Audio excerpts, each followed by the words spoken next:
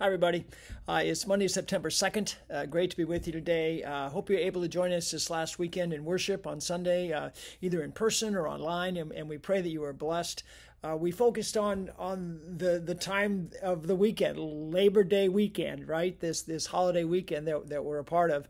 Um, and, and, of course, I you know I started the thing with saying, "Hey, what do you think of with with that word holiday?" Right? And and uh, we we showed some pictures, a place to rest, whatever that means, right? A, a time and a place to rest, and and really that's the um, the etymology of the word where we get holiday from. It comes from holy and day, and it was a day set apart. It was coined in, um, um, you know, about 1400, I guess, and and um, and and somewhere in there, it, it, took on the idea that the the common worker it actually gave them a time, a moment to rest, huh? Uh, and, and, so, you know, it, it really strikes me that we, uh, the human in the human condition, we know that we need time to rest. Um, physically, emotionally, psychologically, spiritually, we need uh, time to rest, and, and, that's why we call this these holy days, these set apart days. The, in the Bible, the word holy means set apart. It can mean sinless, but oftentimes it means kind of set apart, uh, used for something different. Uh, and and so that that was kind of how we kicked it off on Sunday, and and, and then from my perspective, anyway, the idea that hey, God was way ahead of us on this, right? Um, uh, when he set up the first holy day, the Sabbath, uh, this is what he said in, in uh, Exodus. Remember the Sabbath day by keeping it holy, set apart, right? Six days you shall labor and do all your work, but the seventh day is a Sabbath to the Lord your God. On it you will not do any work, neither you, nor your son or daughter, your manservant or maidservant, nor your animals, nor the alien within your gates. Everybody gets a rest, huh?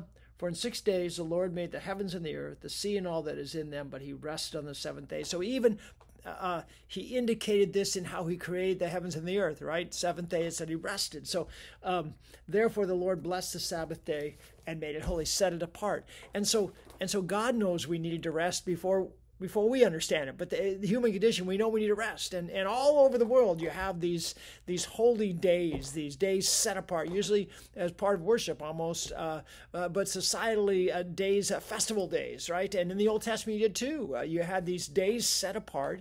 Um, where where people rested and, and and certainly in the Bible this points towards the um, the, the, the, in a sense, the spiritual rest we have in Jesus, right? Come to me, all you who are weary and heavy laden, and I will give you rest.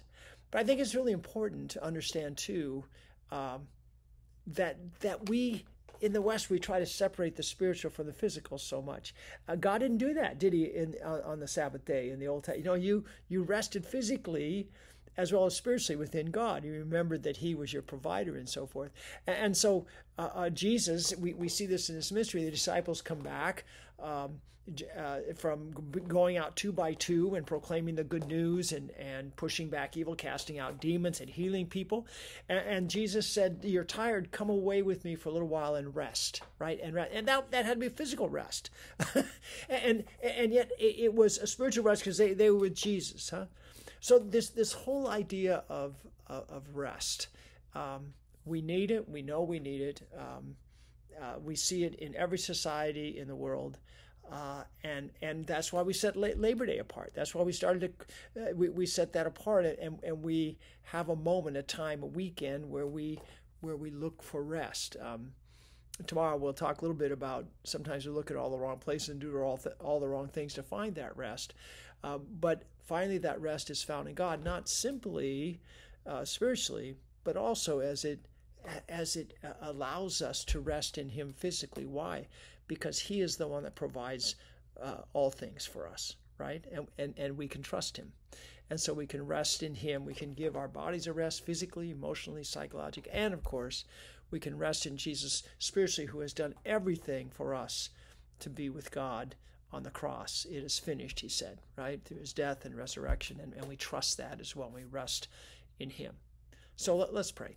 Dearest Jesus, uh, Labor Day, it, it kind of um, gave us a moment to pause and remember this rest that we all seek. All of humankind is part of who we are.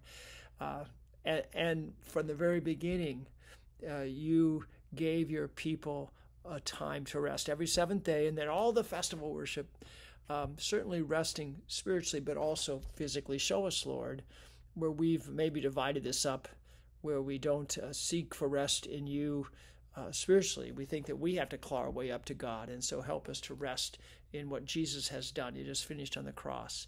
But also physically, Lord, help us to trust in your provision uh, and, and to take a real rest in you um, physically and emotionally and psychologically as well.